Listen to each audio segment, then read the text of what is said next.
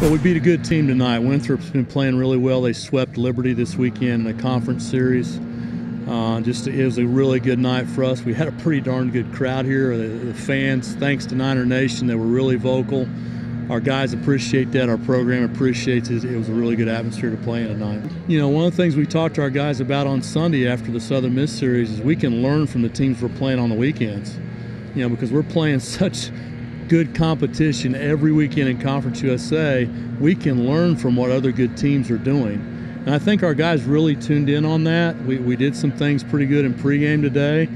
And, you know, when you're seeing the volume of good teams that we're seeing every weekend and the games that we're playing, uh, you can learn from it. I thought we were able to apply some of those things tonight. Like what you saw? Well, again, you know, playing Southern Miss, they're extremely aggressive in the box, especially the fastballs, and and we talked about that. And we have some guys that are capable of, of what we call doing damage, and Logan is one of them. And just being in that aggressive mindset, you know, Ober put a good swing on. We had a bunch of guys do, do a lot of good things. I thought we played really good defense.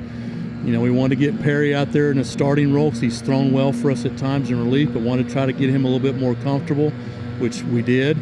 Uh, Wynn threw good out of the bullpen. You know, I thought Traw threw all right. I mean, so it was a good team effort. Well, you know, before the weekend gets, we get a top 20 team on the road tomorrow with NC State. So, you know, we're going to continue to play an aggressive non-conference schedule.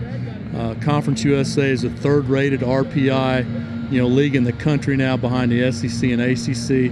That's big-time stuff. I know we talk about it internally all the time.